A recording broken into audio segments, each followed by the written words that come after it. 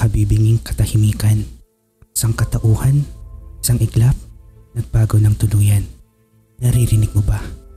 Mga pikil na hikbi na binubusal ng telang bughaw at puti, katahimikang salungat ng kapayapaan, katahimikang dala ng di nakikitang kalaban. Ngunit sa gitna, katahimikan ng mundo, ikaw ay nag-iingay ng tunay na adhikain mo. Patuloy man ng pagulan ng mga batikos sa iyo ang sabi mo para sa kinabukasan ng mga bata ito.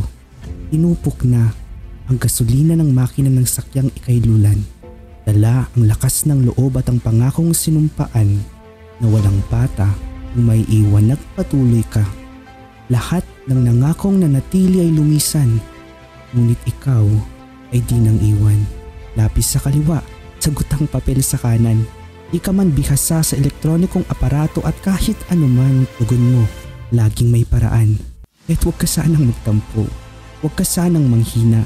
Kung sa ngayon, ilang lamang ang naniniwala Patuloy mo sanang punasan ang mga tuhod na parating nadarapa kahit madalas ang sarili mong tuhod ay puno na rin ng sugat at pasa. Tatagan mo lang. Kapitan mo lang guro. Hindi ka nag-iisa sa laban. Manghawak ka lang. Isang araw masasabi mo muli sa silid-aralan ang salitang katahimikan.